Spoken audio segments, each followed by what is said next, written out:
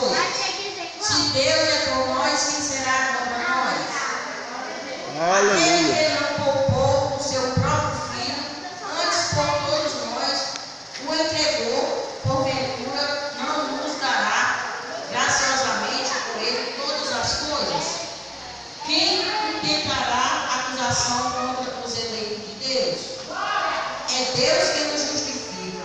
Glória a Deus. Quem nos condenará? É Cristo Jesus quem morreu, ou antes quem ressuscitou, o qual está à direita de Deus e também intercede por nós. Quem nos separará do amor de Deus?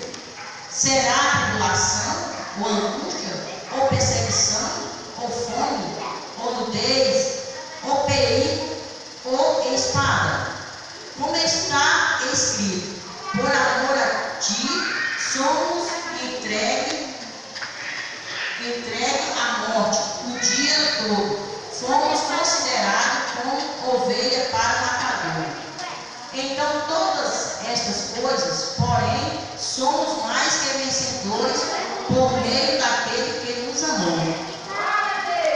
Aleluia! Deus. Eu estou bem certo que nem a morte, nem a vida, nem os anjos, nem os principados, nem as coisas do mundo